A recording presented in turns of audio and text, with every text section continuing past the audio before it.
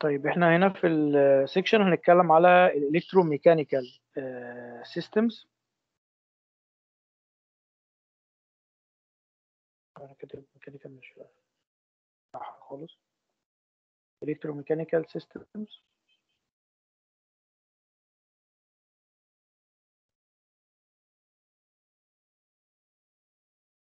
طيب إحنا عندنا ال electromechanical systems دي بتنقسم إلى نوعين رئيسيين اللي هو ال motor وال generator ده ال default بتاعنا. طيب. سواء موتور أو generator الاثنين بيعتمدوا على حاجات رئيسية اللي هي إيه؟ electrical energy electrical energy و field field يعني يكون في مجال وكمان mechanical system أو حركة أو motion mechanical energy أو حركة أو motion لازم الثلاثه دول يبقوا متواجدين عشان أقدر أقول إنه ال machine هتشتغل. طيب يعني لو أنا هشتغل ك generator فإيه اللي أنا بحصل عليه؟ الثلاث حاجات دول. إيه اللي بحصل عليه في الثلاث حاجات دول لو هنشتغل ك generator لو generator electrical electrical energy بالظبط يبقى أنا لا عشان أبقى شغاله generator لازم أحصل على electrical energy يبقى أنا لازم أدي mechanical energy و field energy تمام؟ ال mechanical energy دي إن أنا بدي حركة. خلاص؟ بدي حركة لل generator وال field energy دي بتبقى موجودة. ال field ده بيبقى موجود جوه ال machine نفسها. يعني جوه ال machine نفسها بيكون في حاجة اسمها ال field circuit يبقى ال generator عشان يطلع كهرباء لازم تديله mechanical energy و field. طيب الموتور. العكس الموتور هيخرج mechanical energy. يبقى أنا لازم أديله حاجتين كهرباء و field. الموتور ده زي إيه؟ زي الموتور اللي في المروحة. لازم تديله electrical energy تديله كهرباء وال field ده موجود جوه الإيه؟ الموتور نفسه. تمام؟ يبقى دي الفكرة العامة بتاعت أي electromechanical systems إحنا mainly هنتعامل مع ال motors أو الحاجات اللي شبه ال motors؟ خلاص؟ الحاجات اللي شبه ال motors بيكون فيها energy balance equation آه إيه بقى معادلة ال energy balance أو ال energy balance equation ده؟ ال energy balance equation اللي بقول إن الطاقة اللي أنا مدخلها بتساوي ال output energy زائد ال stored energy يعني إيه؟ إيه الطاقة اللي أنا مدخلها؟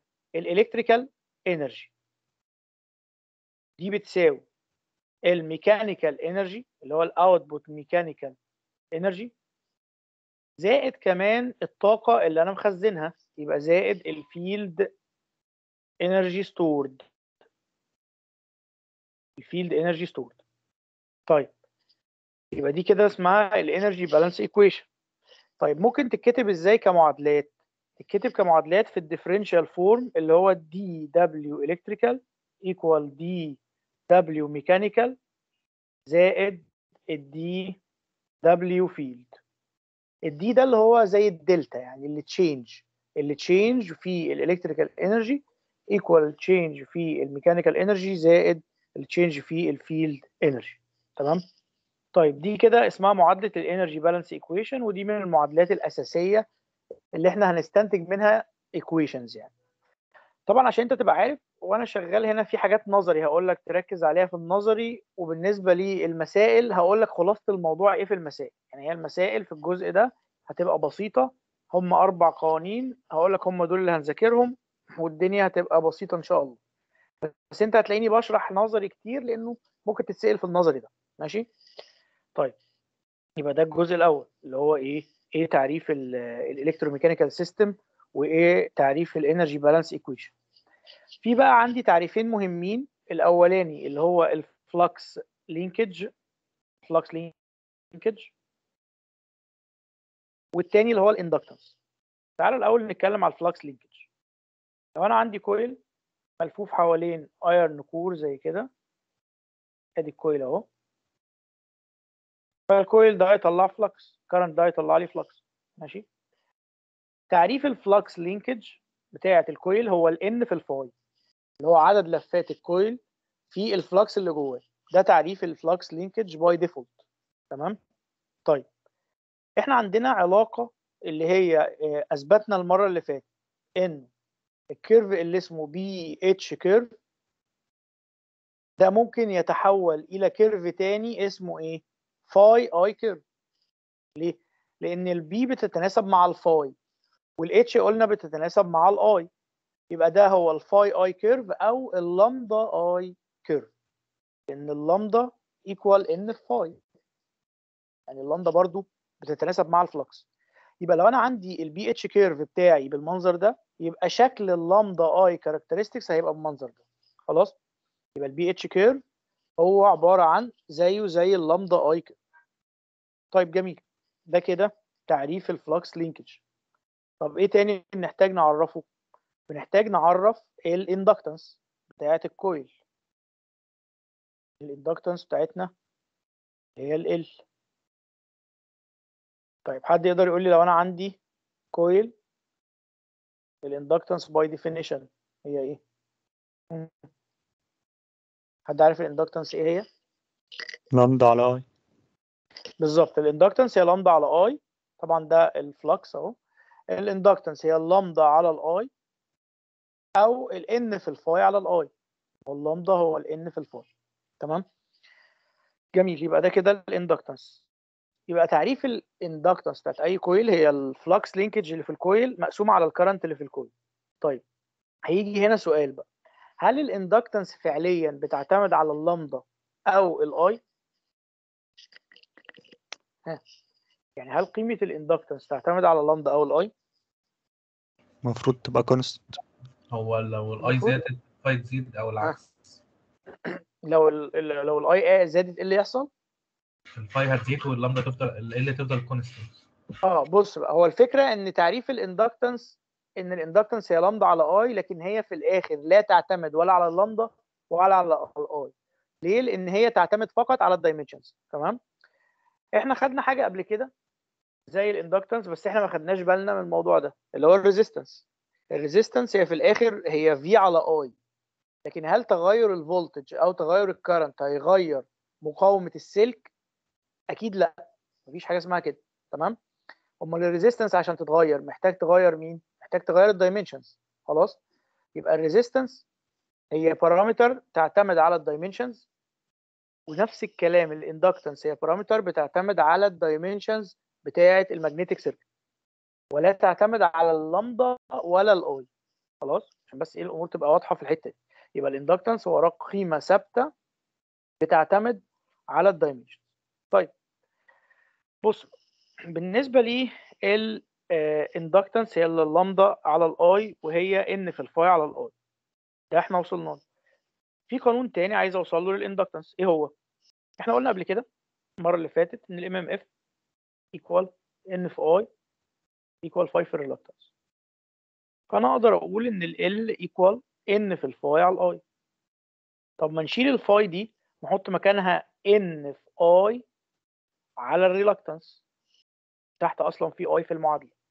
هتوصل لمعادلة إن ال inductance هي N square على إيه؟ على ال reluctance ماشي؟ آه يبقى هنا ال inductance هي اللامدا على ال I وهي N phi على ال I وهي كمان قانون بقى مهم قوي بالنسبة لنا هي كمان N square على ال reluctance ماشي؟ يبقى دي ال inductance فمن هنا نستنتج معلومة مهمة.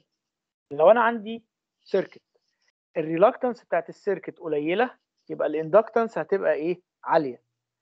ولو ال reluctance عالية يبقى ال inductance قليلة.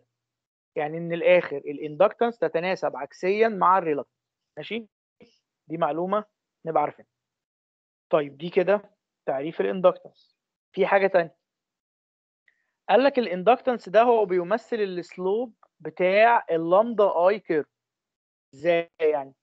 أدي ال lambda I curve عامل كده. مش أنت بتقول إن ال lambda equal ال lambda equal L في I بالظبط ال lambda equal L في I يبقى ال lambda equal L في I يبقى اذا L هو ال slope الميل. آه يبقى L هو ال slope طب سؤال بقى هل الميل في حالة ال non-linear constant لا. L مش constant يعني هنا L1 هنا L2 هنا L3 وهكذا. ال slope متغير. يبقى أنا أقدر أقول conclusion مهم جدا بقى لل MCQ والحاجات دي إن ال inductance is constant for linear systems for linear systems. لكن ال inductance is variable for non-linear systems. وال inductance variable for non-linear systems. واضح طبعا المعلومة دي. ماشي؟ يبقى أنا كده اتكلمت على الأول ال energy balance equation بعد كده معادلة ال ال inductance ومعادلة ال flux linkage ماشي؟ طيب تعالى بقى نتكلم بعد كده على ال electromechanical systems نفسها بقى. ال electromechanical systems بالنسبة لنا بتبقى عاملة إزاي؟ تعال نشوف إحنا عندنا نوعين رئيسيين electromechanical systems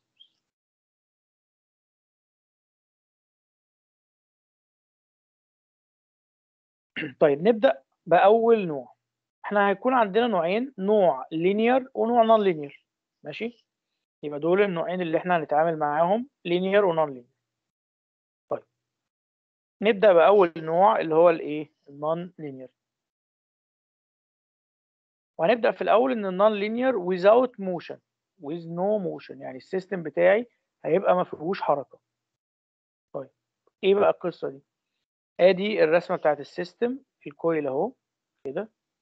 وده ال core. ادي core اهو.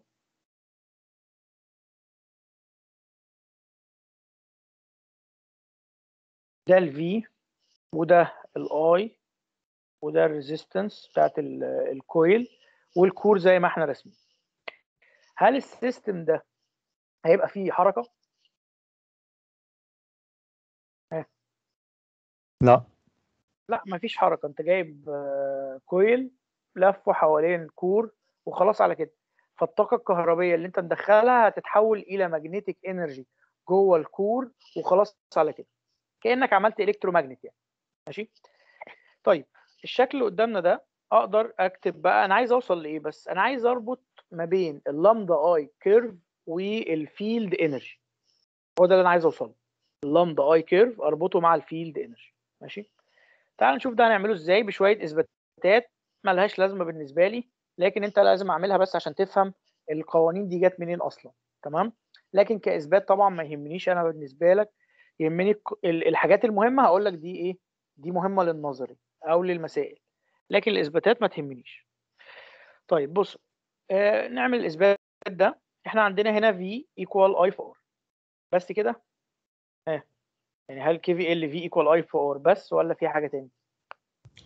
لا linkage زائد الفولت ال voltage اللي هيحصل على ال coil آه يبقى خلي بالك ال V equal IR زائد ال EMF اللي هتحصل على ال coil إيه ال EMF اللي هتحصل على ال coil ده؟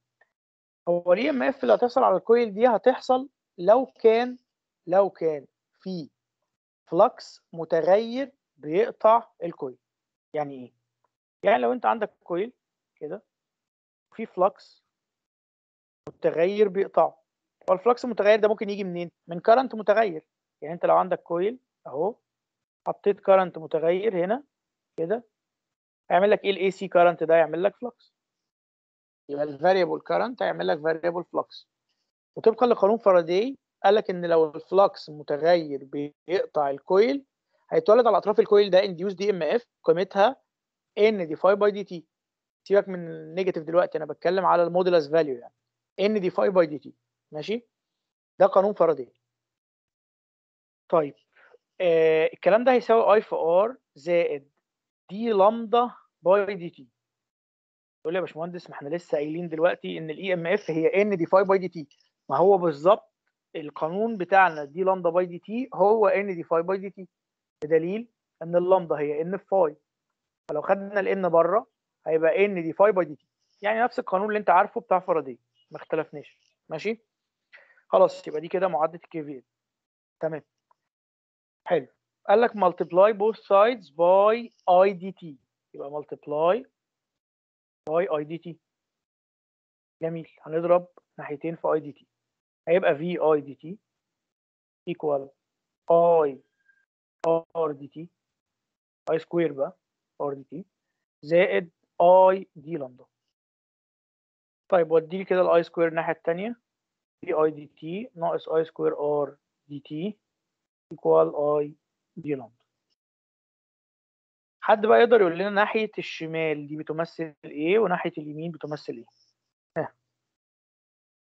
الشمال هيبقى ال electrical energy واليمين ال magnetic energy أيوه بالظبط كده.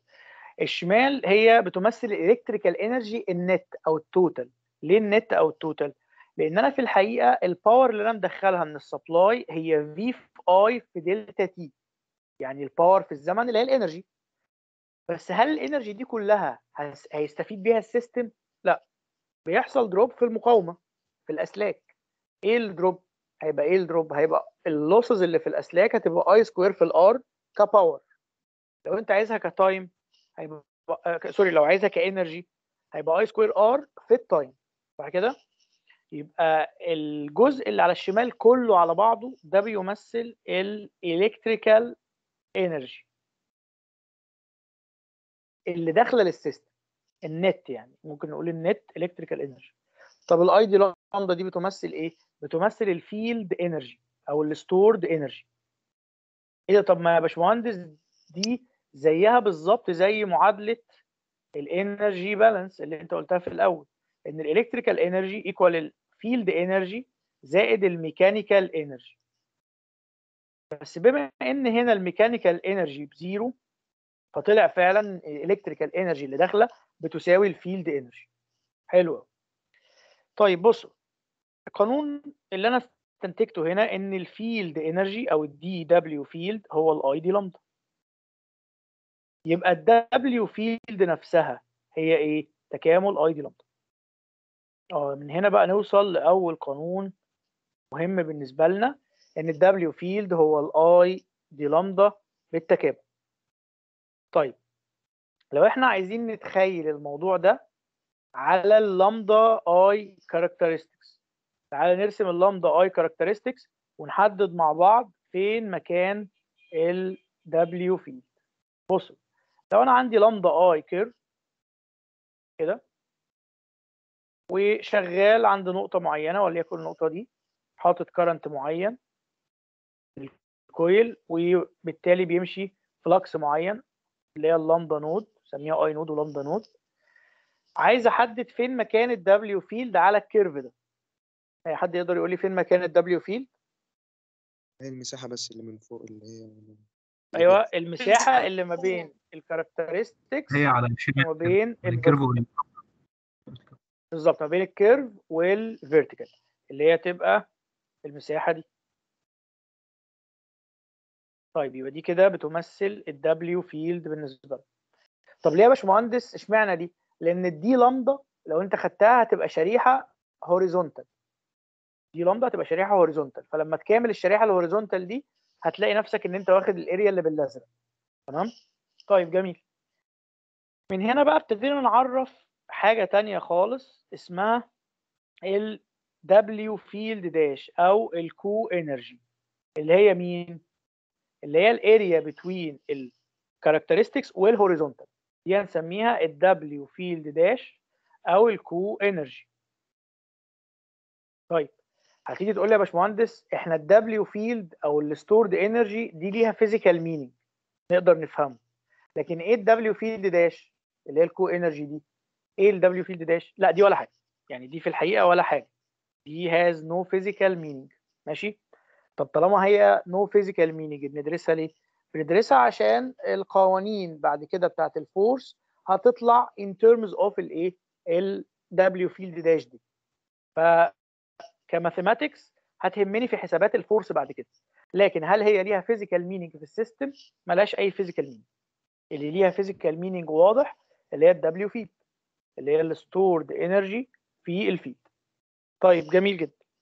يبقى دي ال co-energy يبقى إحنا استنتجنا دلوقتي إن ال W field equal تكامل i d lambda يبقى بالعقل كده ال W field dash هي تكامل إيه؟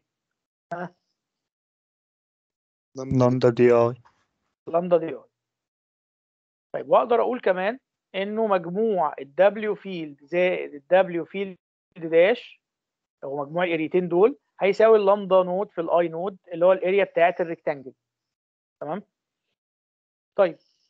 حد يقدر يقول لنا هل بالضرورة ال W field تساوي ال W field dash ولا لأ؟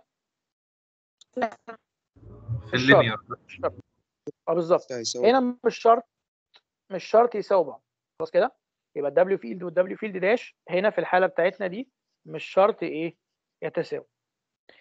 طيب يبقى أنا كده اللي أنا قلته لحد دلوقتي إيه إيه هو؟ إن أنا شفت non-linear system قدامنا حددت graphically إزاي أقدر أحسب ال field energy وال co-energy طيب تعال نشوف بقى لو ال system بتاعي كان linear لو نفس الكلام بس على linear system إيه بقى الموضوع اللي هيحصل؟ تعال نشوف بقى إيه اللي هيتم. لو المسألة بتاعتنا أو الشكل بتاعنا linear ده النوع التاني اللي هو linear system with no motion.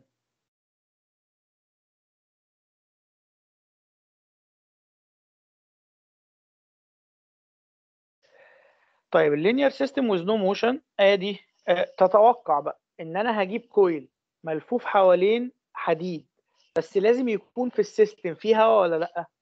لازم يكون فيه هواء لأنه لو حديد بس يبقى هو non-linear بس صح كده؟ لكن لو فيه هواء فكده هيبقى جزء منه linear وجزء منه non-linear صح كده؟ فتعالى نشوف ال system بتاعنا هيبقى عامل إزاي. لازم غصب عني يكون فيه إيه؟ يكون فيه gap كده كده يعني. عشان أضمن إن هو linear طيب.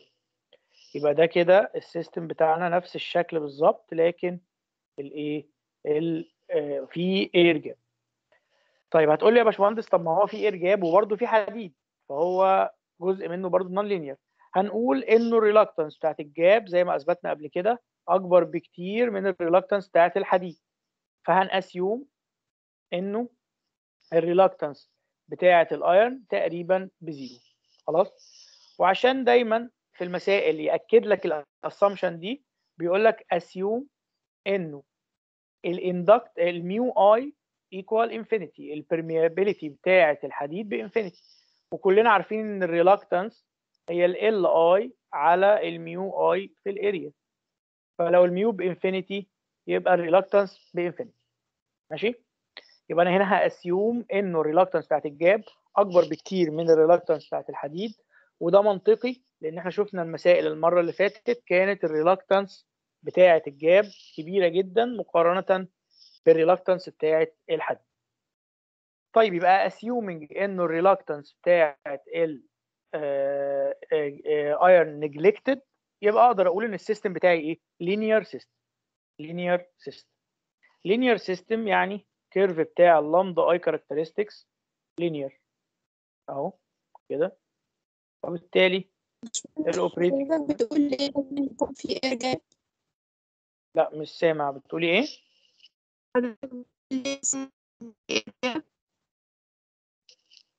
أنا مش سامع حاجة. معلش ممكن تعيدي بس السؤال تاني؟ هي تقريبا بتقول لازم يكون في air gap آه ليه لازم هنا يكون air gap موجود؟ ليه لازم يكون air gap لأن لو مفيش air gap في الشكل يبقى الشكل ده non-linear ماشي؟ فطالما هتعامل مع linear system أكيد هيظهر ال gap يعني أكيد هيبقى ال system ده فيه gap. عشان ال gap في هي air وال air هو اللي linear system فلازم الشكل اللي بتاع ال linear system أكيد لازم يبقى فيه gap. صح كده؟ ده كان سؤالك؟ ماشي تمام. أيوه بالظبط. شكرا. تمام. ماشي العفو. يبقى إحنا كده ده الايه ال linear system علاقة ال lambda i characteristics كده. وبالتالي نقدر نقول إنه الجزء ال area اللي فوق دي اللي هي ما بين ال characteristics وال vertical دي بتمثل ال W field أما ال area اللي ما بين ال characteristics وال horizontal فدي بتمثل إيه؟ تمثل ال W field dash صح كده؟ وبالتالي نقدر نقول إنه قانون ال W field equal قانون ال W field dash لكن في حالة مين؟ في حالة ال linear circuit طب هيساوي كام؟ ها هو ده lambda node وده i node. نص نص لامدا نود. اي نود. لامدا اي أو نص lambda node i node. طب ما هو اللامدا في ال i ممكن أشيل اللامدا أحط مكانها إيه؟ L في ال i فيبقى L i square ده قانون ال field. وده طبعا قانون شهير قوي إن ال energy stored equal half L i square ده قانون مشهور قوي لل energy stored يعني. تمام؟ طيب وبرده في قانون ثالث أقدر أوصل له إن أنا أقول إنه آه، طبعا أنت عارف بقى إن ال L equal n في ال phi على ال i وكمان n في i equal ال phi في ال reluctance ماشي؟ لو استخدمنا القانون ده استغليناه يعني نقدر نوصل ان ال W field equal W field dash equal half phi square في الار سيبك أنا بقى توصل للقانون ده مش مشكلة يعني عشان بس ما أقعدش أضيع وقت. يبقى ال W field equal W field dash equal half I square آه، آه، half I square في L أو half I square في ال R أو التالت بتاعهم نص لامدا في R دول القوانين بتاعة ال W field وال W field dash في حالة ال linear circuit طيب في حالة ال non-linear هل بيتساووا؟ قال لك لا ما بيتساووش. non-linear ما بيتساووش. ال W field وال W field dash أمال القانون بتاع ال W field كان تكامل i d lambda وال field dash تكامل lambda d i ماشي؟ يبقى إحنا كده. شفنا دلوقتي في ال linear system بنساوي ال W field بال W field dash بيساوي النص phi square في ال reluctance نص i square في ال نص lambda phi ده في حالة ال linear system طيب جميل جدا. ال two systems دول هل كان فيهم أي حركة؟ هل كان فيهم motion لا ما فيهمش motion ما فيهمش أي إيه حركة. طيب إحنا بقى هندرس دلوقتي لو ال system بتاعي فيه حركة. يعني إيه ال system فيه حركة أو فيه motion هو ده اللي إحنا عايزين نشوفه. ال system بتاعنا يكون فيه إيه؟ يكون فيه motion تمام؟ تعال نشوف ال system بتاعنا فيه motion إزاي ونحدد ال force اللي بيتحرك آه، بيها ال system بتاعنا ده. هنشوف إيه الكلام ده دلوقتي. طيب آدي. ممكن سؤال آه ماشي اتفضل. آه، ممكن تطلع بس لل- لل graph اللي هو كان linear لو سمحت. ده أهو. هو آه، تاني كده ليه ال slope هنا ب one. أنا ما قلتش ال slope ب 1 طب وهو مش عشان خاطر ال دبليو اف يساوي دبليو اف داش مش لازم ال slope يبقى ب one؟ لا. يعني هو لا، أي مش خط مستقيم الاتنين هيبقوا قد بعض آه. تمام؟ أه بالظبط طب كده. تمام. يعني هو يعني انت يعني بص هو أنت لو أي يعني لو خط كده أو لو خط كده برضو ماشي؟ في الآخر ال area بتاعه ال triangle اللي فوق هتساوي ال area بتاعه ال triangle اللي تحت اللي هي آه هتبقى آه إيه؟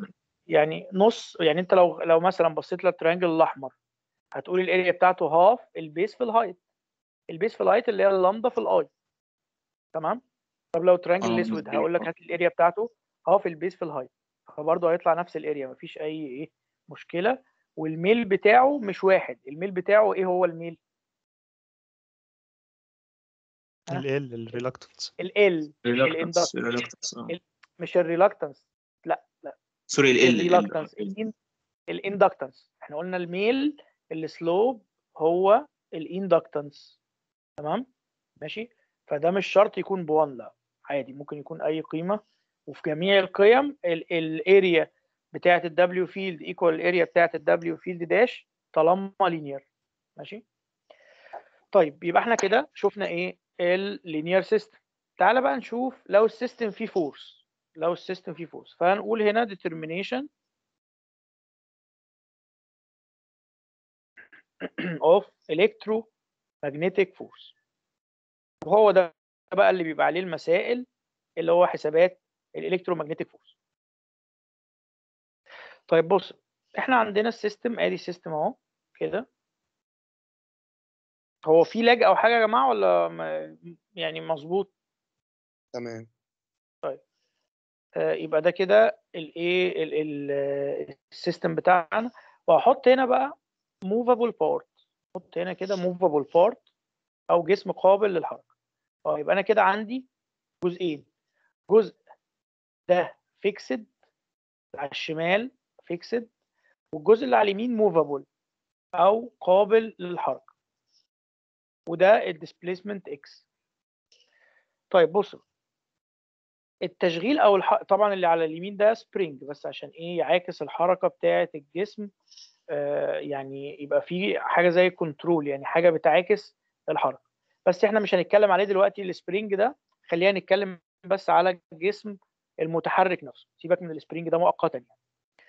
طيب بص دلوقتي آه ك operation إيه اللي بيحصل؟ ك operation اللي بيحصل إن الفولت بيمشي current وال current بيمشي flux جوه ال core. فبقى عندك flux جوه ال core. يبقى تحول ال core بتاعنا اللي على الشمال ده كأنه electromagnet يبقى تخيل عندك electromagnet وعندك حتة حديد قابلة للحركة. هيحصل إيه لحتة الحديد دي؟ هتتحرك هتتشد ناحية ال electro ال electromagnet يعني دي هيحصل لها attraction. Attraction of movable part. Movable part. وبالتالي ال air gap هيحصل لها إيه؟ Air gap is reduced. ال air gap هتقل. ال air gap هتقل في الحالة دي. يبقى ال air gap is reduced. يبقى تاني اللي حصل إيه؟ ال voltage اللي أنت حاطه على ال coil هيمشي current وال current هيعمل flux وبالتالي ال flux هيشد حتة الحديد ناحية الشمال يبقى ال air gap هيحصل لها إيه؟ هتقل تمام؟ طيب بص لو أنا تخيلت أثناء الحركة عايز بقى أبص على ال lambda i curve في لحظة في اللحظة الأولى ال open position ال gap أكبر ما يمكن. وبما إن ال gap أكبر ما يمكن يبقى ال curve بتاعي linear يبقى ده اسمه ال open position طيب كل لما ال gap قاعدة بتقل كل لما ال gap بتقل كل لما ال curve بتاعي بيقرب أكتر لل non-linear لحد لما ال gap تقفل خالص ساعتها ال system بتاعي هيبقى totally non-linear خلاص؟ فعشان كده ال lambda i curve مع الحركة ما هواش ثابت لا ده بيقعد يتغير. لحد ما في الآخر يوصل إلى ال closed position تمام؟ طيب. هيجي هنا السؤال بقى. هو أنت ليه يا باشمهندس راسم ال closed position فوق؟ يعني ليه ال curveات ما بتنزلش لتحت؟ ليه بتطلع لفوق؟ قال لك بص for the same current for the same current يعني لو أنا عندي هنا I معينة فليها لمبة معينة. صح كده؟ تمام. بالمنطق يعني. لو أنا عندي system يحتوي على air gap فال reluctance بتاعته بتكون عالية ولا قليلة؟ أكيد عالية. يبقى ال open position ال reluctance بتاعت ال system عالية. ولو ال reluctance بتاعت ال system عالية يبقى ال flux بتاع ال system ماله قليل. يبقى اللامدا بتاعت ال system مالها قليلة. ده لو open position طب لو closed position لو closed position ال reluctance هتبقى حديد بس اللي هو ال reluctance قليلة. يبقى ال flux عالي. يبقى اللامدا عالية.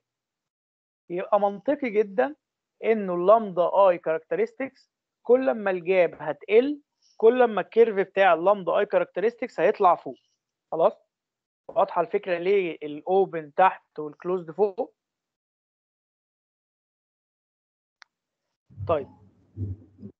يبقى ده كده ال lambda i characteristics أثناء الحركة. ماشي جميل جدا. إحنا بقى عايزين نعرف دلوقتي لو أنا قلت لك كنظري ال electromagnetic force ال force tends to بتعمل إيه في الحاجات اللي أنا هقولها دي؟ بتعمل إيه في ال reluctance بتعمل إيه في ال inductance بتعمل إيه في ال permeance ال permeance دي اللي هي مقلوب ال reluctance حد يقدر يقول لنا أول حاجة بتعمل إيه في ال reluctance ال force. بتقلل. بتقلل ال reluctance تقلل ال reluctance عشان ال gap عايزة تقل. تعمل إيه في ال inductance؟ بتزودها. لأن إحنا قلنا إن ال inductance مقلوب ال reluctance أو مش مقلوبها هي N square على ال reluctance لو ترجع للقوانين بتاعة ال كانت ال L بتساوي N square على ال reluctance يبقى ال L هتزيد طب ال permeance إحنا بنقول ال permeance عكس ال reluctance برضو. فال permeance هتزيد يبقى كنظري أقدر أقول إن تأثير ال electromagnetic force إن هي بتعمل آه الثلاث حاجات دول ولسه في حاجتين كمان هنبقى نقولهم بعد كده. طيب يبقى ده كده ال force اللي هي بتحرك الدراع ده بقى. ماشي؟ جميل. هقول أنا مش سامع حاجة. بقول في فين؟ ال force مالها؟ مكانها على الرسمة فين؟ آه هي أصلا هي ال force بقى دي اللي أنا لسه عايز أحسبها هي اللي بتحرك الدراع ده. عشان أنت بتقول دلوقتي إن ال movable part ده هيتشد. احسب لي بقى ال attraction force دي. هي دي ال force اللي أنا بدور عليها. اللي هي ال attraction force دي أو إحنا بنسميها ال electromagnetic force هي دي الايه اللي أنا عايز أجيب لها القوانين بتاعتها بقى. ماشي؟ هو إحنا قلنا الدراع ده هيتشد. هيتشد إزاي؟ هيتشد ب force. أنا عايز أحسب ال force دي بكام بقى؟ ماشي؟ طيب تعالى بقى نشوف إزاي نقدر نحسب ال force دي اللي هي هتشد الدراع ده ومن هنا طبعا اللي أنا هعمله ده هعمل شوية آه، آه، إثباتات. ما تهمنيش قوي في الآخر أنا يهمني في الآخر القوانين اللي هثبتها. خلاص؟ بصوا. إحنا عندنا أول حاجة آه، نعمل ال case الأولى اللي هي هنجيب ال force في حالة ال slow motion طبعا الإثباتات اللي أنا هعملها دي في الآخر هتطلع قوانين لل force. القوانين اللي أنا هكتبها لل force هتبقى valid في أي مسألة سواء slow motion أو fast motion يعني كده كده هثبت لك إنه القانون اللي هستنتجه سواء slow أو fast هيطلع في الآخر نفس الإجابات. تمام؟ طب أنت ليه بت- بتشرحها ك slow أو fast إحنا بنشرحها ك slow آه، أو fast عشان نوصل لل expression نفسه. يعني بنعمل كأننا بنعمل approximation بسيط عشان نوصل لل expression يعني إيه برضو؟ بص أنت المفروض عندك ال lambda i characteristics بتكون اتنين characteristics يعني إيه؟ يعني بيكون واحد كده مثلا والتاني كده. ده ال open position وال closed position طيب المفروض إن أنت في الأول كنت شغال عند الاوبريتنج بوينت مثلا رقم واحد وفي الآخر هتوصل لل operating point رقم اتنين. طيب أنت بتتحرك على ال على ال K على ال curveات اللي هي من واحد إلى اتنين. بتتحرك إزاي؟ لا هو الطبيعي إن إحنا بنتحرك general path يعني مثلا بياخد مسار عامل كده. يعني ال current بيتغير وكمان اللمبة بتتغير ماشي؟ فأنا ممكن أفترض إن المسار الحركة intermediate أو حالة عامة مسار عام ماشي؟ وأطلع قانون برضو لل force هيطلع لي نفس القانون. بس إحنا هنا للتسهيل لتسهيل الإثبات يعني قلنا خلاص إحنا هنفترض إن الحركة بتاعتي يا إما slow motion يا إما fast motion دول special cases عشان يسهلوا بس مسار الحركة. تمام؟ لكن في جميع الأحوال قانون ال force هيطلع قوانين valid في أي مسألة. يعني القوانين اللي أنا هستنتجها سواء من ال slow أو من ال fast أو من ال intermediate أو من أي مسار هتطلع في الآخر valid لكل إيه؟ المسائل. ماشي؟ فتعالى نشوف لو أنا افترضت الأول إن مسار الحركة slow motion إيه slow motion ده؟ يعني إيه بقى مسار الحركة slow motion تعال نشوف يعني إيه مسار الحركة slow بصوا اولا اكتب لي معادلة ال KVL. إيه معادلة ال KVL؟ V equal I R زائد d lambda by dt دي كانت معادلة ال KVL اللي إحنا قلناها.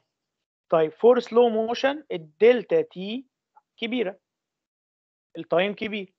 يبقى أقدر أقول إن d lambda by dt tends to إيه zero لأن ال delta t هتبقى كبيرة. يبقى أقدر أقول ببساطة إن ال I equal V على R طول الوقت.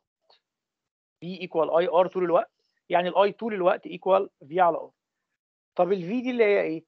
ال supply voltage ال R ال resistance بتاعت السلك يبقى اذا ال I هنا إيه يا جماعة؟ constant آه يبقى قال لك في حالة ال slow motion أقدر أقول إنه ال I equal constant طيب يبقى لو أنت افترضت إن مسار الحركة slow motion يعني أقدر أقول إن طول الوقت ال current ثابت.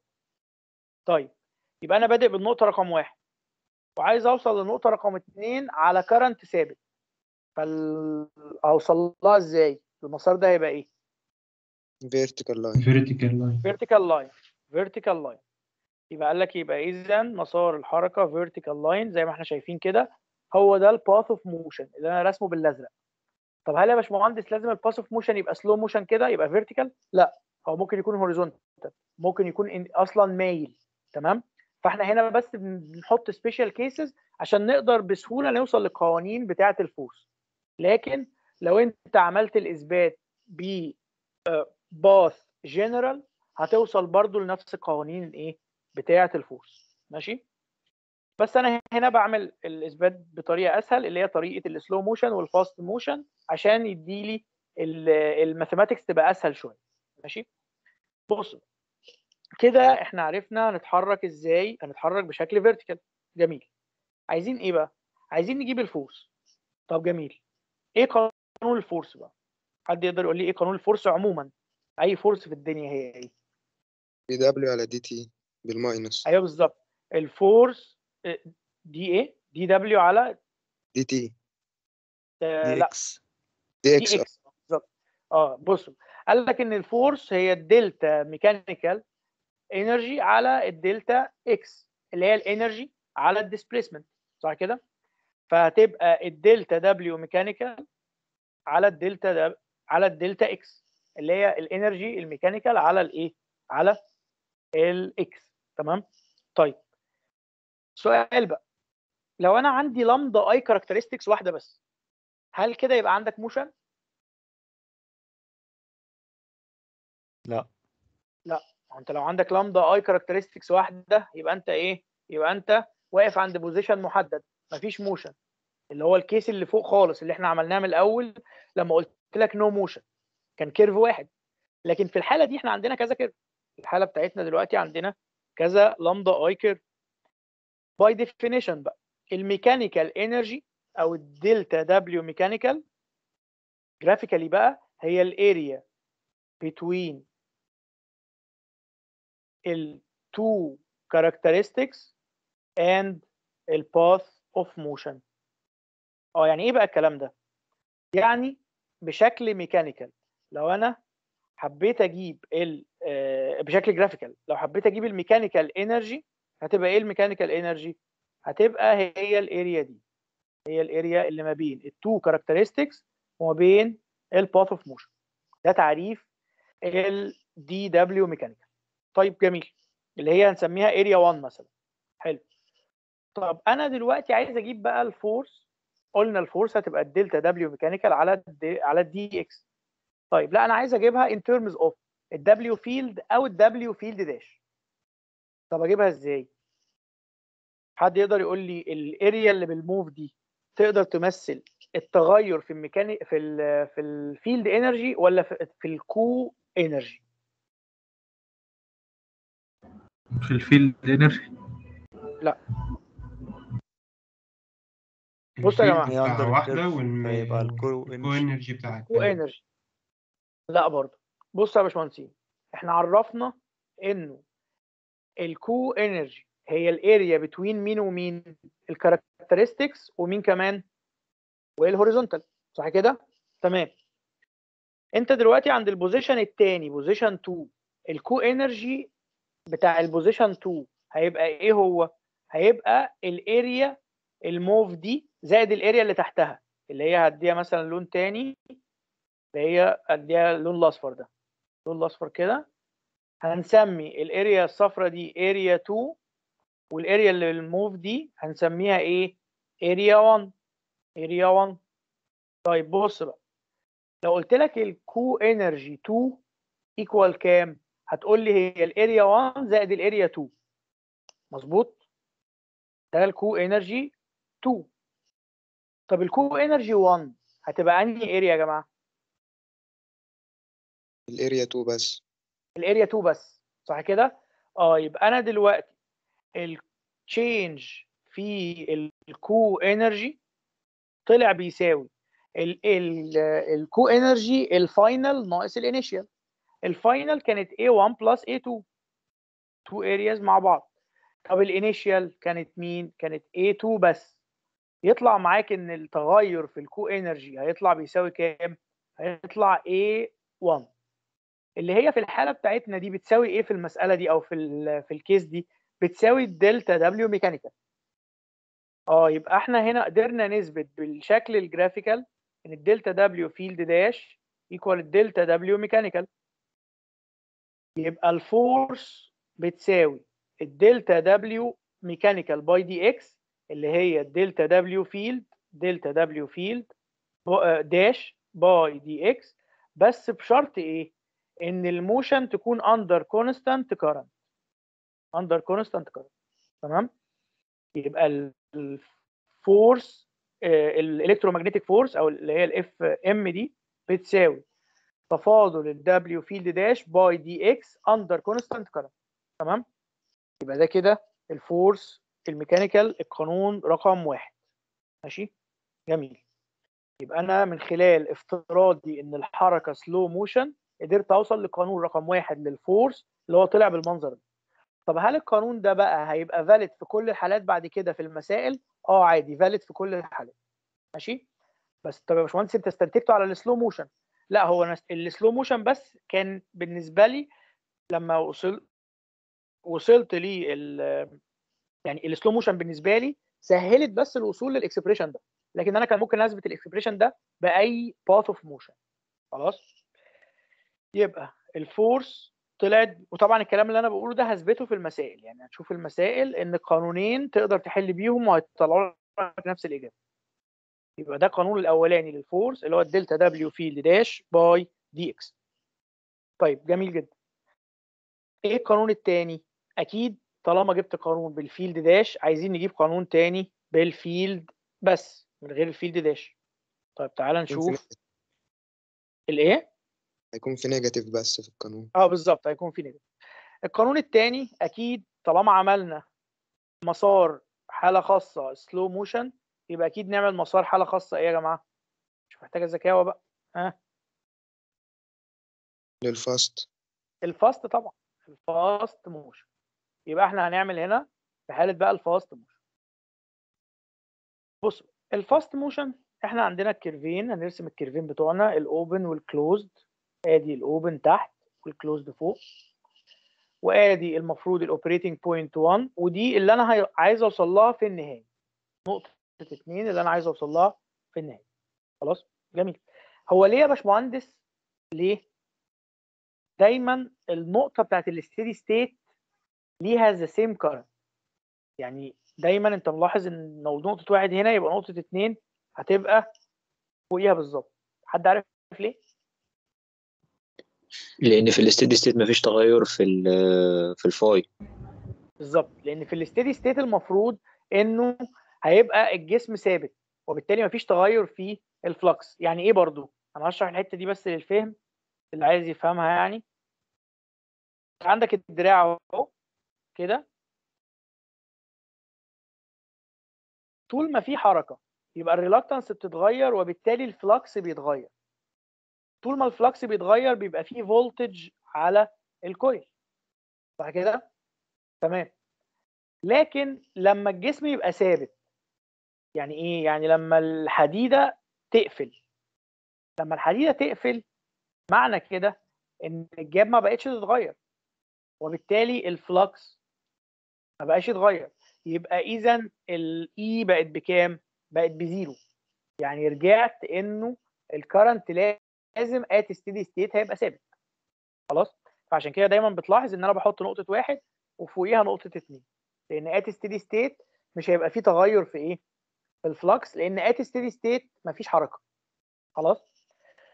طيب المهم ما علينا يعني من الكلام ده. خلينا نخش في المفيد. المفيد إنه fast motion معناها إن الدراع تقريبا قفل in no time قفل in no time يعني إيه؟ يعني وصلت من ال open position لل closed position in no time تقريبا. في قاعدة أساسية عندنا إنه ال flux ما ينفعش يتغير instantaneously ال magnetic flux عمره ما ينفع يتغير لحظيا. زيه زي ال temperature مثلا فما ينفعش يتغير لحظيا. طب معنى الكلام ده إيه؟ معنى الكلام ده إن الدراع لما قفل تقريبا in no time ال flux كان تقريبا ما لحقش يتغير. خلاص؟ يبقى معنى كده إن مسار الحركة هنا لازم يكون horizontal لأنه اللمضه ما لحقتش تتغير. لما الدراع قفل من ال position ال open لل position ال closed كانت اللامدا لسه ما اتغيرتش. وبالتالي مسار الحركة هيبقى إيه؟ horizontal طيب طبعا بعد ما الدراع يقفل بعد ما الدراع يقفل هتلاقي بقى إن ال curve بتاعك هتفضل ماشي عليه لحد ما توصل لنقطة اتنين. بس في الحقيقة أنا ما يهمنيش خالص الجزء ده ولا يهمني. ليه ولا يهمني؟ لأن الجزء ده أصلا ما فيهوش حركة ما فيهوش motion ليه ما فيهوش motion لأن ال motion خلاص حصلت لما الدراع اتنقل من ال open لل close وهي دي اللي تهمني أصلا ال motion لأن هي دي اللي هحسب من خلالها إيه؟ ال force لكن ما بعد بقى إن الدراع قفل ما يهمنيش. دي اسمها transient منطقة transient ما تخصنيش في حاجة. تمام؟ يبقى أنا اللي يهمني في الجزء ده إزاي أنت اتحركت من ال open إلى ال closed position هتقول لي إزاي اتحركت؟ هتقول لي أنا اتحركت fast motion يعني in no time طب ما طالما in no time يعني ال f- ال flux ما اتغيرش. طالما ال flux ما اتغيرش يبقى أنا اتحركت على إيه؟ على horizontal path على horizontal path طيب جميل. يبقى أنا دلوقتي من الآخر ال fast motion معناها إن ال lambda constant ال slow motion معناها إن ال current constant طيب بص. دلوقتي لو أنا بقى عايز أجيب بقى موضوع ال areaات والكلام ده تعالى نرسم الرسمة ونشوف ال areaات آدي ال path الثاني وآدي ال path الأولاني. وإنت بتتحرك ب horizontal path. بص فين ال mechanical energy؟ ال mechanical energy هتبقى ال area between ال two characteristics وال path of motion اللي هي ال area دي. يبقى ال area اللي بالموف دي هنسميها A1 طيب ال- تعالى بقى نسمي الحتة دي دي كده ال area الصغيرة دي هنسميها A2 ماشي. بصوا دلوقتي ال mechanical energy بتساوي مين؟ ال mechanical energy بتساوي ال area 1 ماشي تمام. طب ال mechanical energy دي لو أنا جيت اجيبها بقى in terms of ال field هتبقى إيه؟ قال لك بص كده تعالى نشوف ال change في ال field energy. هو ال field ال area ما بين مين ومين؟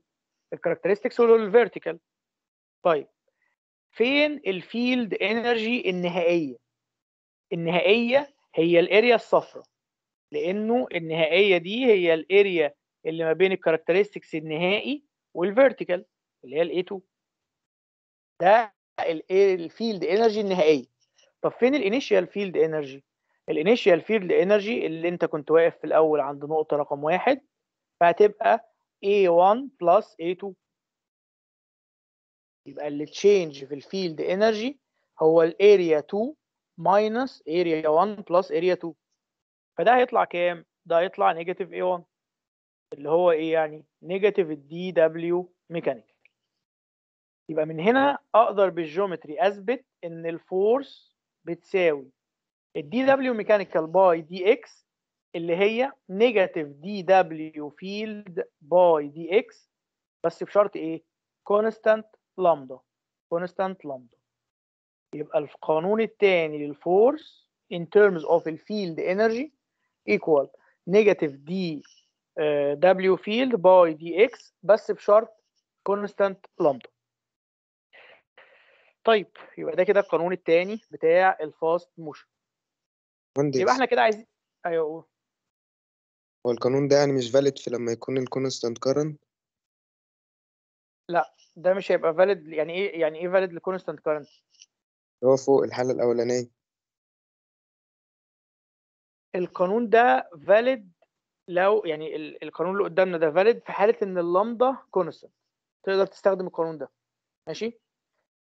والقانون اللي فوق ما أنا هقول لك بس ثانية. القانون اللي فوق في حالة إن ال i constant ماشي؟ إحنا بقى في الح... في في العموم اللي بيحصل إيه؟ اللي بيحصل إنه هو بيجيب لك أصلا مثلا لو جت non-linear يعني هيجيب لك curve كده ووراه curve كده. قريبين قوي من بعض. ماشي؟ وبيقول لك احسب لي ال force. فال force بالنسبة لنا سواء افترضت horizontal motion أو vertical motion كده كده مش هتفرق معاك في الحسابات. يعني أنت في الآخر هتفترض إنه القانون بتاع ال force valid في المسألة تقدر تستخدم بتاعة ال field وتقدر تستخدم بتاع ال field dash ده ليه؟ لأن هو دايما بيجيب ال force اللي هيحتاجها عشان يتحرك من curve ل curve بعديه مباشرة. يعني تقريبا ال distance اللي هيتحركها tends to zero فال distance اللي هيتحركها tends to zero دي مش هيفرق معاها إذا كان المسار بتاعك horizontal ولا vertical فهتلاقي القانونين valid ماشي؟ يبقى إحنا شغلنا لو أنت عايز تتكلم ك theoretical يعني ك theoretical القانون بتاع ال force ده valid بس لو ال lambda constant طب القانون الأولاني valid بس لو ال current constant طب هل إحنا فعلا هنتعامل مع المسائل بحيث إن ال path يبقى vertical أو horizontal لا خالص. إحنا في المسائل بتاعتنا بنتعامل مع force ما بين two cases المسافة اللي ما بينهم صغيرة جدا. فحكاية ال horizontal وال vertical مش هتفرق معايا. ماشي؟ إمتى تفرق؟ لو المسألة بقى كانت بالأرقام مديلك curve ين حقيقيين وقال لك أنا اتحركت من نقطة واحد لنقطة اتنين slow motion آه slow motion هتفرق. ساعتها هتبقى vertical صح كده؟ طب fast motion هتبقى horizontal وساعتها المسألة هتفرق في الحل. ده إمتى؟ لو المسافة اللي ما بين ال curve ين اللي أنت بتتحرك فيه بينهم كبيرة. بس أنا بقول لك إن ده مش هيحصل. يعني دايما المسافة اللي ما بين ال curve ين اللي أنا بتحرك بينهم بتبقى تقريبا zero فتقريبا ال fast وال slow ما بيفرقوش معايا في الحل. يبقى القانونين هيبقوا valid ولا لأ؟ القانونين هيبقوا valid صح كده؟ لكن بالشكل النظري القانون بتاع ال field اللي هو ده valid بس لو ال lambda constant لكن بتاع ال field dash valid بس لو إيه؟ لو ال i constant طب هل ده أنا هشوفه في المسائل؟ لأ. أنت في المسائل الاثنين هينفعوا. ليه الاثنين هينفعوا؟ لأنه انت بتتحرك ما بين مسارين أو ما بين characteristics آه قريبين قوي. فاهم قصدي؟ تمام يا باشمهندس أيمن. يعني من الآخر خلاصه اللي أنا بقوله بس عشان ما اقعدش ارغي كتير. في المسائل استخدم الاثنين هيطلعوا نفس الإجابة. ماشي؟ تمام. تمام. طيب يبقى إحنا كده شفنا قانون ال force في حالة ال non-linear حلو. تعالى بقى نعمل سمري للموضوع ده عشان بس إيه نفهم القوانين اللي إحنا هنستخدمها. بصوا القوانين أول حاجة عندنا المسائل اللي هي ال non linear بعرفها منين المسألة ال non-linear دي؟ هي بتبقى واضحة جدا إن هو بيدي لك ال i is a function of lambda أو ال lambda is a function of i يعني أول لما تلاقي المسألة مدي لك علاقة ال i مع اللامدا علاقة رياضية أو الل- اللامدا مع ال i يبقى المسألة دي non-linear طب ولو non-linear بعمل إيه؟ ال W field بتساوي تكامل i d lambda وال W field dash بتساوي تكامل lambda di وال force ال force بتساوي قانون من اتنين. يا إما ال force بتساوي dW field dash by dx under constant current. أو ال force بتساوي negative dW field by dx under constant flux. ده لو non-linear يبقى لو non-linear هعرف منين إن المسألة دي non-linear هيدي لك علاقة اللامدا مع ال i طيب أي حاجة تانية هتبقى المسألة linear تعالى بقى نتكلم لو المسألة linear قوانينها إيه؟ ال W field equal ال W field dash equal half L i square equal half phi square في ال reluctance ده القانون الأولاني. طب القانون الثاني ال force بقى. ال force ال force هيكون ليه قانونين. القانون الأول اللي هو برضو ال dW field dash by dx under constant current اللي هو إيه بقى؟ ها، حد يقدر يقول لنا؟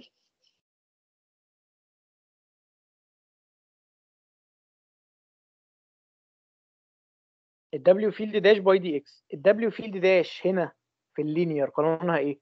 يا إما نص L i square يا إما نص phi square في ال reluctance فقانون ال force هنا يبقى إيه؟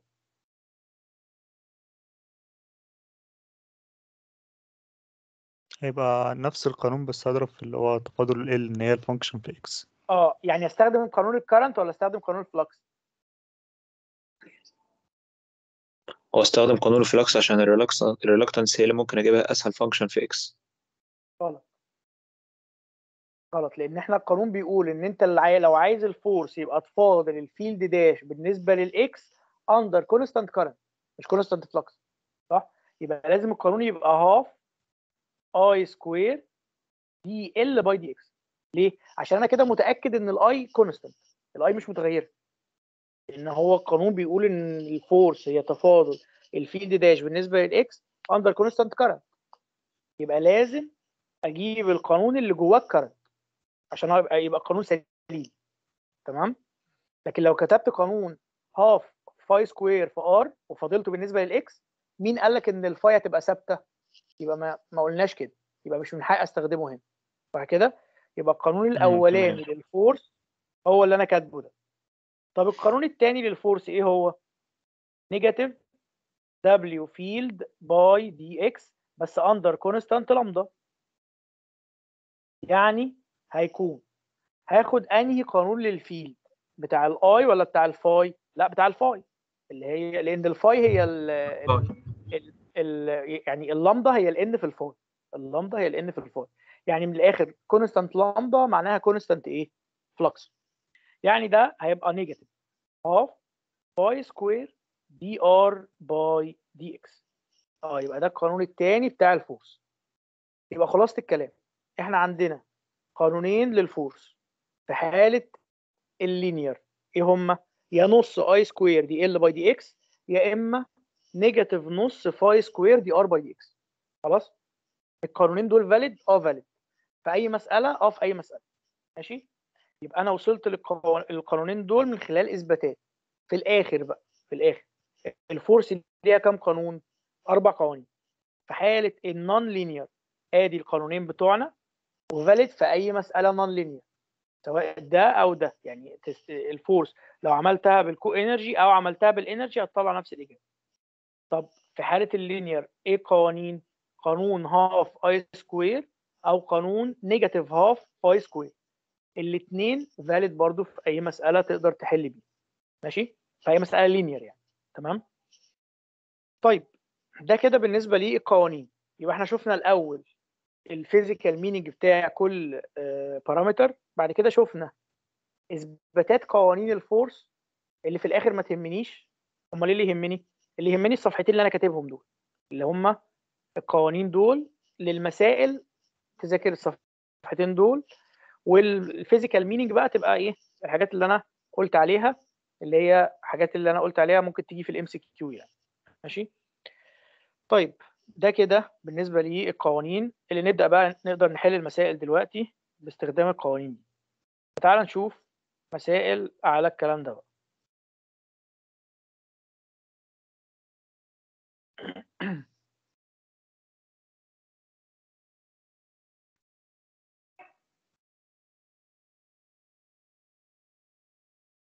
طيب نبدأ الأول بمسألة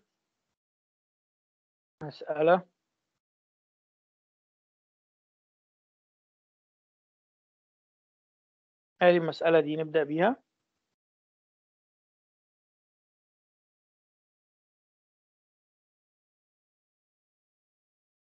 طيب ادي المسألة هنا طبعا امسح بس الأول عشان إيه يبقى إحنا طيب المسألة دي مديلك هنا علاقة اللامدا مع ال i يبقى المسألة دي مسألة إيه؟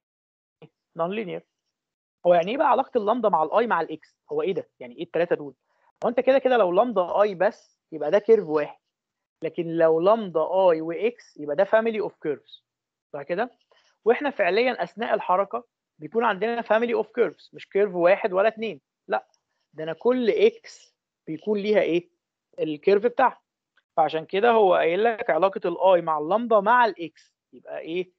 تي اللي هي family of curves طيب هو بقى عايز تحديدا إنه لما الجي تساوي 5 وال current يساوي 3 find ال force بص الجي بتساوي 5 دي ممكن تكون curve من الكيرفات وليكن ال curve مثلا إيه اللي هو اللي قبل الأخير ده. ده g equal 5 لما أقول لك هات لي ال force عند اللحظة دي. يعني أنا عايز ال force اللي هتحركك من ال g equal 5 لل g equal 5 plus delta x يعني بعديها بحاجة بسيطة قوي. تمام؟ يبقى ال force المقصودة هنا هي ال force اللي هتحرك اللي هتح- اللي هتحرك الدراع بتاعك من ال g equal 5 لغاية ال g equal 5 plus delta x اللي هو curve فوق curve بتاع الخمسة ده بحاجة بسيطة قوي تمام فزي ما قلت لك كده كده مسار الحركة هنا مش فارق سواء horizontal سواء vertical مش فارقة معايا ليه؟ لأن أنا بجيب force بسيطة بتتحرك من آه، ال gap equal 5 لغاية ال gap equal 5 زائد delta x صح كده؟ إمتى يفرق مسار الحركة؟ يفرق مسار الحركة لو أنت بتتحرك من مكان لمكان تاني بعيد قوي عنه مسافة مش صغيرة ماشي؟ ساعتها أقول لك آه أنت بتتحرك fast ولا slow هتفرق معايا.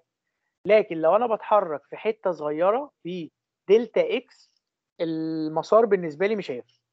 فعشان كده هتلاقي إن أنا هحل المسألة باستخدام قانون ال energy وكمان ال co-energy هيطلع نفس الإجابة. المسألة لازم تطلع نفس الإجابة. فتعال نشوف. تعال نشوف إزاي يعني. أول حاجة هو هنا عايزين نجيب ال force الأول باستخدام ال W field dash استخدام ال W field dash يبقى هكتب قانون ال force in terms of ال W field dash اللي هو ال d W field dash by d x طيب في حاجة هنا مهمة. أنت هنا ما ينفعش تعوض غير بعد ما تفاضل. يعني أنا لما كان بيجي يقول لك مثلا هات لي ال slope عند ال y equal 5 كنت بتفاضل المعادلة الأول وبعد كده بتعوض. هنا هنعمل نفس الكلام. لازم أفاضل الأول بعد كده أعوض. ماشي؟ تمام. يبقى أنا لما أقول ال force هو ال d W field dash by d x طيب إيه بقى ال W field dash هو تكامل i آه lambda d i إيه ال lambda d i روح جيب ال lambda in terms of ال i المعادلة الرئيسية. جيب ال lambda as a function of i. هيطلع ال lambda as a function of i أهي. لو عملنا التكامل ده على ال i هيبقى i power 3 على 2 على 3 على 2 فهيطلع قانون ال W field dash اهو. كده انت جبت ال W field dash as a function of x. أروح أجيب بقى ال force هو تفاضل ال W field dash by d x اللي هو همسك معادلة W field dash افاضلها بالنسبة لل x يعني الواحد على x تفاضله هيبقى negative واحد على x square فتطلع ال force بال expression ده. دلوقتي بقى تعوض. تعوض عن ال i ب 3 آمبير زي ما هو قايل وال x ب 5 سم.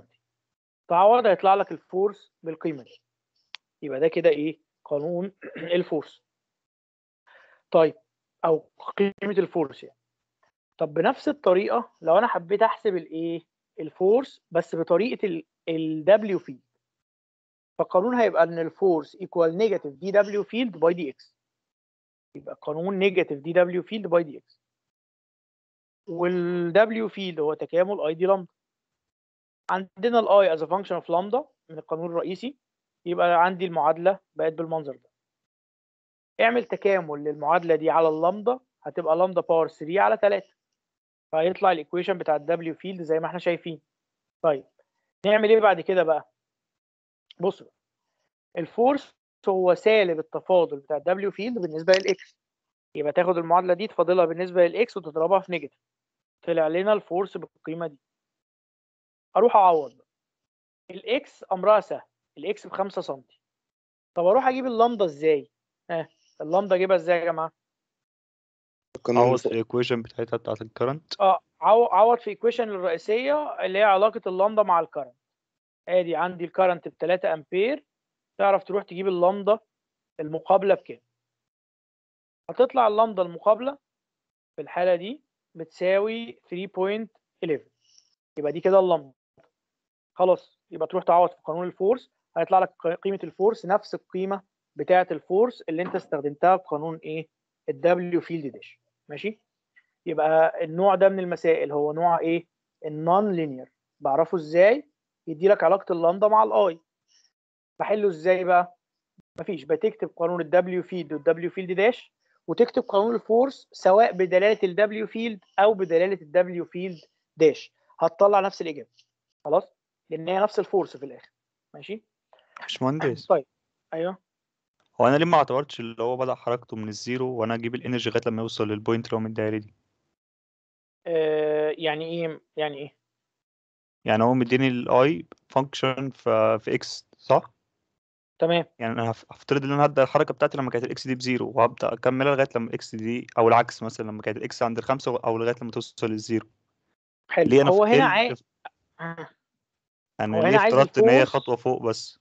هقول لك ما هو الفكرة كلها هو دلوقتي بيقول لك أنا عايز ال force عند ال g بخمسه هو قايل كده يعني عايز ال force لما ال gap لما الجاب بتساوي خمسة صح كده؟ ما قالكش أنا عايز الفورس آه، من الجاب بزيرو لغاية الجاب بخمسة. ما قالش كده. ماشي؟ هو قال أنا أيوه عايز ال force لما عند بحسب ال gap 5 بحسبها بحسبها خلال فترة معينة صح؟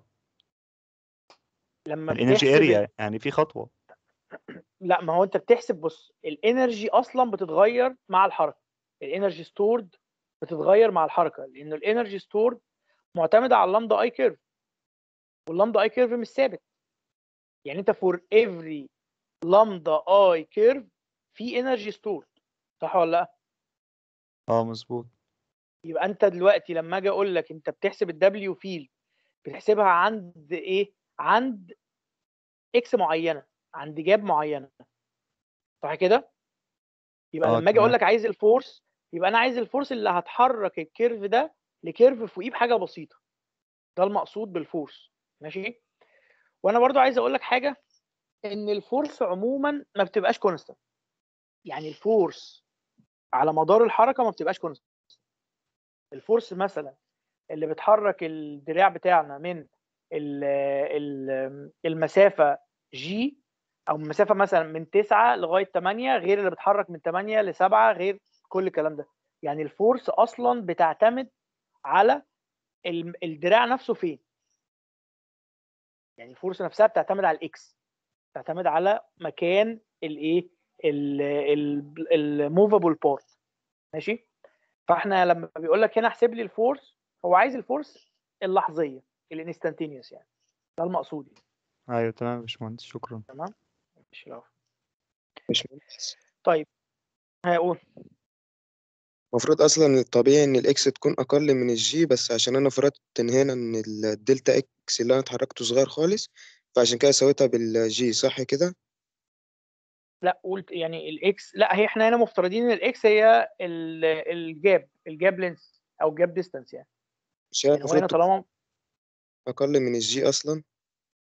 الاكس أقل من الجي لا هو الجي ده فاريبل الجي ده اللي هو gap يعني. بص تخيل معايا أنت عندك هنا إيه؟ الدراع أهو كده. المسافة دي هي ال g أو ال gap هي دي g أو ال gap امم تمام. فاهم قصدي؟ ال- المسافة نفسها هي دي الجي اللي. هي هي ال x برضه. تمام تمام. بس مش أكتر يعني. طيب يبقى ال يعني ال g ده variable ها؟ الجي مش حاجة ثابتة. هو هنا قال لك أنا عايز ال- القيمة بتاعت ال force عند g معينة. بس مش معنى كده إن جي ثابتة. لا ما الجي بتتغير مع الوقت مع الحركة. خلاص؟ هو كأنه خد صورة بقى للحركة وقال لك احسب لي ال force في اللحظة دي. ال force اللي تمام حرك هو مسافة صغيرة خالص. ال- اللي هتحركها يعني ال- ال force اللي هتحرك الدراع في اللحظة دي. يعني ما هو الدراع بيتحرك إزاي؟ في force بتحركه صح كده؟ في أول لحظة مثلا 10 نيوتن بعد كده 9.5 بعد كده 9 بعد كده 8 point وهكذا. هو بقى عايز عند اللحظة دي تحسب لي ال force بكام؟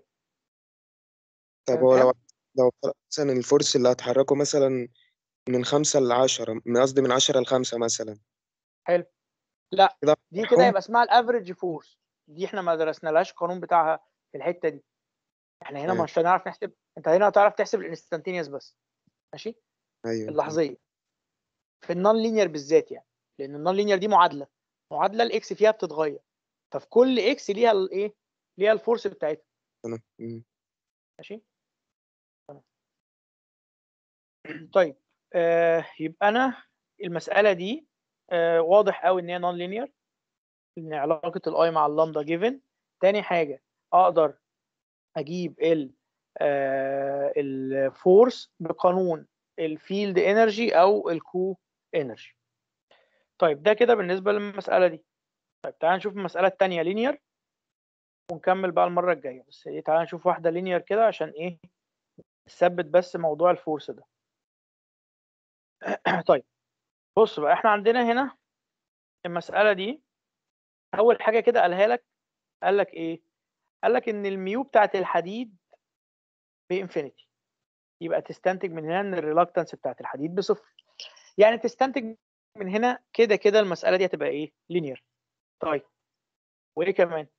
إدالك ال G ب 5 مللي ال gap ب 5 مللي وال movable part moves along ال x axis أول مطلوب derive an expression for ال L as a function of G. هات لي قانون لل inductance طبعا هو المفروض كده كده يبقى فيه coil بس هو مش مرسوم بس لازم طبعا هيبقى فيه coil يعني. بيقول لك هنا إيه بقى؟ أجيب ال inductance إزاي؟ إحنا قلنا قانون ال inductance equal N square على ال reluctance يبقى أنا لو نجحت إن أنا أحسب ال reluctance هعرف أجيب ال ال reluctance هنا هتساوي كام؟ المفروض هتساوي ال reluctance بتاعت الحديد زائد ال reluctance بتاعت ال gap. بس إحنا اعتبرنا إن ال reluctance بتاعت الحديد بإيه؟ بزيرو. يبقى ال reluctance بتاعت ال gap هتساوي ال gap على ال mu naught في ال area حد بقى يقدر يقول لنا ال gap اللي هو هيبقى كام؟ اللي هو G ولا لا G ولا 2 G لا ما هو 2 G عشان في 2 gap عندي. أيوه بالظبط كده. يبقى ال reluctance هتساوي 2 G عشان أنا عندي 2 gap على ال mu naught في ال area ده ال reluctance يبقى ال inductance هتبقى إيه؟ هتبقى N square على ال reluctance يعني N square على الكلام ده فيطلع قانون ال inductance as function of ال gap هيبقى بالمنظر ده. طيب جميل. ال inductance طلعت قيمتها بالمنظر ده كده.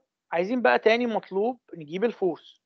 بصوا هو بيقول لك find ال force لو ال current ب 10 إحنا قلنا هتجيب ال force في ال linear بقانون من اتنين يا إما نص I square dL by dx يا إما نص phi square dR by dx مضروب في negative صح كده؟ تمام. فانت هنا بالمنطق إيه أسهل لك؟ نص I square ولا نص phi square لا نص I square لأن هو مديك current صح كده؟ فيبقى ال force هتساوي نص I square dL by dG يبقى نص I square dL by dG آدي ال L عندنا فاضلها بالنسبة لل G طبعا ال L هي بتتناسب مع واحد على G يبقى تفاضلها يتناسب مع ناقص واحد على G square يبقى ده كده dL by dG. بعد ما خلاص فاضل ارجع عوض بقى. ال I ب 10 وال G ب 5 مللي. ال G ب 5 مللي. وال area given ب 5 في 10 سنتيمتر square. يعني لازم أضرب في إيه؟ في 10 power negative 4 يبقى من هنا نقدر نجيب ال force اللي هو بتاع ال ال electromechanical force ده اللي هو المطلوب التاني. ليه استخدمنا القانون ده ما استخدمناش؟ قانون dW field dash والكلام ده. لأن ده linear مسألة linear تستخدم القوانين بتاعة ال linear طيب تعال نشوف المطلوب الثالث نفس الكلام. هقول هو هنا لو أنا كنت استخدمت اللي هو نص phi square dR كانت ال- ال x هتبقى فوق أو ال G هتبقى فوق فكان هيبقى تفاضلها بواحد. فهو كده كان الناتج هيختلف؟ فين؟ ال reluctance دي ال phi بقى طب الفكرة في ال phi؟ الناتج مش هيختلف الفكرة في ال phi هتبقى إيه؟ روح احسب ال phi. ما؟ ساعتها ساعتها ال phi هحسبها اعتبرها إن هي constant بحيث إن أنا افترضت إن المعادلتين بيم- بيمشوا ويطلعوا نفس الناتج. لا لا ما هو بص ما هو أنت مش هتعت... يعني إيه تعتبر ال phi constant طب constant بكام؟ ما أنا اعتبر اعتبرت هنا ال I const أيوه ماشي ما هو ال I هو مديك القيمة بتاعته ب 10 صح؟ عند اللحظة دي آه. دلوقتي ماشي. انت عايز تستخدم القانون الثاني اللي هو نص phi square dR by dx صح؟ آه. ماشي. جميل. تعالى نشوف اهو force هو أنا عامل كده في المطلوب اللي بعده بس يعني أنا هقول لك برضه. ناقص phi square dR by dx صح كده؟ ال dR by dx ب 2 على mu naught في ال area dR by dx ب 2 على ال mu naught في ال area الفكرة بقى في ال phi. ال phi بكام؟ ها. يعني يعني ال phi هحسبها اللي هي هتبقى هتبقى NI على أيوه. آه، على ال R اللي عند اللحظة دي. ال NI على ال R اللي عند اللحظة دي. صح كده. هتظبط معاك في الآخر. هتطلع نفس الإجابة. يعني جربها أنت كده مع نفسك. هتطلع نفس القيمة. يعني أنت هتقول إن ال phi equal N في I equal phi ال reluctance يبقى دي هتبقى N في I على ال reluctance وال reluctance جواها ال G صح كده؟ بس خلي بالك دي مش phi بس دي phi square فهتلاقي ال G square ظهرت لك برضه. فاهم؟ آه تمام تمام. هتظهر معاك هتظهر معاك تاني. وأنا هعملها في المطلوب اللي بعده عشان إيه؟ أأكد على المعلومة دي. خلاص؟ بس أنت اقعد جربها هتطلع لك نفس الإجابة يعني. طيب تعالى نأكد المعلومة دي في المطلوب الثالث يعني أنا هعملها بالتفصيل في المطلوب الثالث المطلوب الثالث ال B بواحد تسلا. find ال force طالما أنا عندي البي يبقى البي في الاريا هي الفاي يبقى أنا كده كأني عندي ال phi يبقى الأسهل في المطلوب الثالث أستخدم أنهي قانون؟ negative نص phi square dR by dx ده الأسهل. صح كده؟ لأن أنا عندي ال phi جاهزة. ده طريقة. الطريقة الثانية إن أنا برضو هستخدم قانون ال current. إيه ده؟ يعني يا باشمهندس أنت هت- هتشتغل بقانون ال current حتى في المطلوب الثالث أه عادي عشان أثبت لك إن هتطلع نفس الإجابة. فالفكرة إزاي أجيب ال current إزاي أجيب ال current بص. إحنا عندنا ال magnetic circuit بتاعتنا في coil يبقى ال N في ال I equal ال phi في ال total reluctance ال total reluctance اللي هي مين؟ اللي هي ال R gap جميل. ال N عندي دي given ب 1000 ال R gap ال R gap هي ال L بتاعت ال gap على ال mu في ال area. بس خلي بالك إن ال بتاعت الجاب هي 2 جي تمام. يبقى ال reluctance بتاعت ال gap عندنا. طيب الفاي بكام؟ الفاي هي البي في الأريا. فأنا عندي ال B وعندي ال area أعرف أجيب ال I المقابلة. جميل جدا. طلعت ال I المقابلة ب 7.9 يبقى ال force equal half I square dL by dg ال dL by dg فاضل وبعد كده عوض. أنا عندي expression ال inductance اللي هو فوق خالص. فاضل ال expression بتاع ال inductance أهو. فضلت ارجع عوض بقى. ال I ب 7.9 والجي ب 5 مللي. من هنا تقدر تطلع قانون الايه ال force طيب أنا عايزك بقى تجرب أنت مع نفسك قانون ال force لو هتجيبه بطريقة ناقص نص phi square dR by dx ماشي؟ فناقص نص phi square dR by dx ال phi اللي هي مين؟ B في area B في area طب ال R وال x ما أنا عندي ال R أقدر افاضل ال R بالنسبة لل x هتطلع dR by dx هي 2 على الميو نوت في الاريا والفاي هي البي في الاريا عندي البي وعندي الاريا عوض هتطلع لك نفس الإجابة. ماشي؟ يعني هتطلع أنا حسبتها طلعت تقريبا ناقص 378.9 اللي هي في الآخر نفس الرقم لأن طبعا أنا عامل approximation وأنا بحسب يعني ال reluctance والحاجات دي فنقدر نعتبرها نفس الإجابة يعني. اللي هي ناقص 3.9 كيلو نيوتن ماشي؟ خلاص؟ يبقى سواء استخدمت قانون ال current أو قانون ال flux هتطلع نفس الإجابة. ماشي؟ بس أنا بست- بستخدم أنهي؟ الأسهل ال given يعني الحاجة ال given استخدمها. يعني هو مديلك الكرنت استخدم الكرنت مديلك الفلكس استخدم الفلكس خلاص؟ يبقى ده كده لو إيه لو linear. ماشي؟ يبقى خلاصة الكلام إن إحنا عندنا ال force بتتحسب في حالة ال non linear بقوانين التفاضل اللي هو dW field dash by dx أو negative dW field by dx وحليناها بالطريقتين. في مسائل ال linear عندي قانونين يا إما نص I square dL by dx يا إما ناقص نص phi square dR by dx. برضو لو حليتها بده أو بده هيطلع لك نفس الاجابه ماشي؟ يبقى أنا كده حليت مسألة على ال non linear النهارده وواحدة تانية على ال linear. إن شاء الله المرة الجاية هنكمل برضو آه، مسألة كمان مع بقى الجزء الجديد اللي هو غالبا هندخل في ال transformer إن شاء الله. ماشي؟ طيب حد عنده أي سؤال يا جماعة؟ هو ليه negative نص هنا؟ ليه negative؟ ليه negative؟ لا القانون فيه negative. يعني القانون أصلا بص قانون ال force بتاعنا يا إما negative نص phi square dR by dx يا إما positive نص I square dL by dx. طب مش إحنا قلنا إن هما بيساووا بعض في ال linear؟ يعني ال W هيطلعوا قد بعض هيطلعوا. زي بعض. يعني يعني لا قول تاني معلش. قلنا ال ال WF dash بتساوي ال WF بتساوي نص آه، اسمه إيه ده؟ نص ال- اللاندا في I مثلا أو نص كده يعني. صح ال W field equal ال W field dash أنا ما اختلفتش معاك. طيب ما كمساحه دي بال positive ودي بال negative تمام بس معدل تغير بقى ال W field by dx هل هو هو معدل تغير ال W field dash by dx تمام. انت- يعني أنت بتقول إن ال W field هي ال W field dash صح أنا ما اختلفتش معاك. بس مين قال لك إن التغير بتاع ال W field هو التغير بتاع ال W field dash. لا أنا ما قلتش كده. تمام أيوه صح.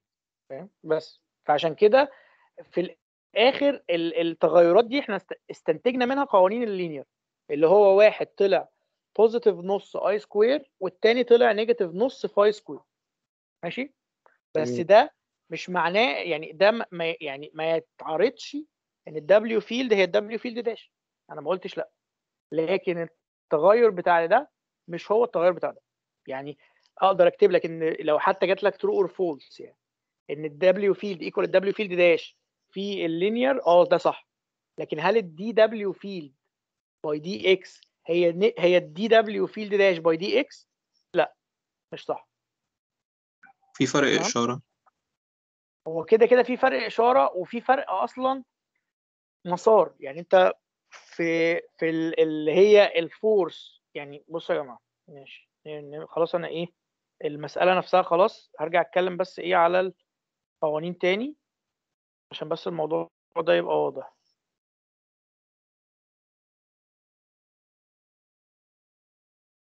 إحنا دلوقتي قلنا إنه ال W field في حالة ال linear حالة ال linear ماشي؟ W field equal W field dash equal نص L I square equal نص phi square في ال reluctance إحنا قلناه ال force بقى قانونها dW field dash by dx بس بشرط under constant current ده الإثبات اللي انت عملته. ماشي؟ فالكلام ده لما أجي أستخدم القانون هل أستخدم القانون بتاع ال current ولا أستخدم القانون بتاع ال flux قال لك بتاع ال current اللي هو نص I square dL by dx طب لو استخدمت قانون ال flux هتبقى غلط. يعني هل ينفع أقول نص phi square dR by dx؟ لا غلط لأن القانون ده مفترض إن ال flux ثابت وأنا ما قلتش إن ال flux ثابت. تمام؟ طيب ال force القانون الثاني بتاعها إيه هو؟ negative dW field by dx ده under constant lambda طب الكلام ده عبارة عن نص. مين بقى؟ phi square ولا ال I square لا هنا هاخد ال phi square بس في إشارة negative ما تنساش القانون نفسه فيه إشارة negative. phi square dR by dx. بس. فيبقى قوانين ال force قوانين ال force في ال linear بقى خلاصة الكلام يا نص I square dL by dx يا إما ناقص نص phi square dR by dx ده القوانين بتاع ال force في حالة ال linear. ماشي؟ واحد جاي من خلال ال W field والتاني جاي من خلال تغير ال W field dash بس لكن هل هل القانون ده بيتنافى مع معلومة إن ال W field equal ال W field dash في حالة ال linear لا ما بيتنافى يعني ما بيتعارضش. عادي. W field هي W field dash في حالة ال linear لكن ال force ما هياش ال W field وما هياش ال W field dash ال force هي تغير ال W field بالنسبة لل x وتغير ال W field dash بالنسبة لل x. ده ليه قيمة وده ليه قيمة ثانية في الآخر يعني. يعني ال W field نفسها وال W field dash متساويين لكن معدل تغيرهم مش متساوي. تهيألي واضحة كده. باشمهندس. أيوه. ممكن تجيب بس رسمة من اللي كنت تشرح فيها ال- motion؟ ماشي ثانية واحدة. أي رسمة بشرح فيها ال motion ماشي. هو فين؟ عايز بس ال أنا كنت بعمل بيه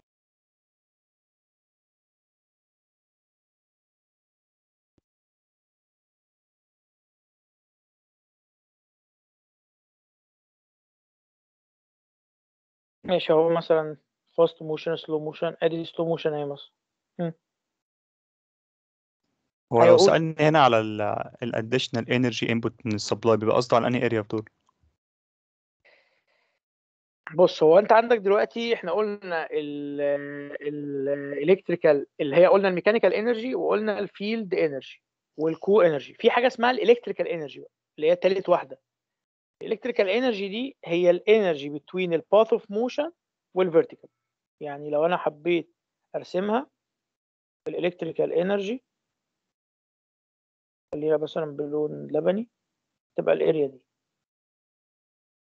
هي دي ال electrical energy اللي هي باللبني اللي هي ما بين ال path of motion وال آه وال vertical دي ال delta W electrical يعني لو قال لك أنا عايز ال additional energy من ال supply هي دي. اللي هي ال- المقصود بيها ال electrical energy يعني. ماشي؟ طب في ال slow. motion تبقى ب zero motion كده. هتبقى ب zero. اهي هل في area ما بين ال path of motion وبين ال vertical لا. يبقى ال delta W electrical equal zero بس. بس دي مش هتستخدم غير لو إيه؟ graphical ماشي؟ لكن في المسائل ملهاش دعوة ملهاش دعوة بالمسائل. يعني هي آخرها بس graphical أيوه تمام شكرا هتكلم هتكلم ع- كنت هتكلم عليها كده كده المرة الجاية المسألة دي. ماشي؟ ماشي تمام. طيب مين؟ الإيه؟ إيه الورق ده اللي حضرتك تكتب فيه. أنا ماشي هبعت لكم ملزمة okay ال- الملزمة أو ال section كمان اللي هو إيه اللي إحنا بنشرح منه أنتوا عايزين PDF نفسها اللي أنا كاتبها دي؟ آه الورق ده.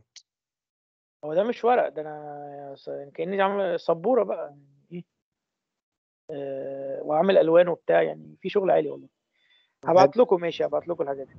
ماشي. يا ريت يا باشمهندس نكتب كده كل مرة أحسن ما يكون يعني مكتوبة جاهزة كده أح- أحسن آه. بكتير. طيب خلاص تمام ماشي مفيش مشكلة. يعني بعد كده بس إيه ممكن المسائل هضطر أكتبها يعني هتبقى مكتوبة already عشان بس مش هنقعد نحسب وبتاع لكن ممكن الشرح نكتبه كده. آه يا ريت تمام شكرا. طيب تمام ماشي okay. خلاص ماشي أنا هبعت لكم الحاجات اللي أنا كتبت فيها والمل... والملزمة يعني. خلاص؟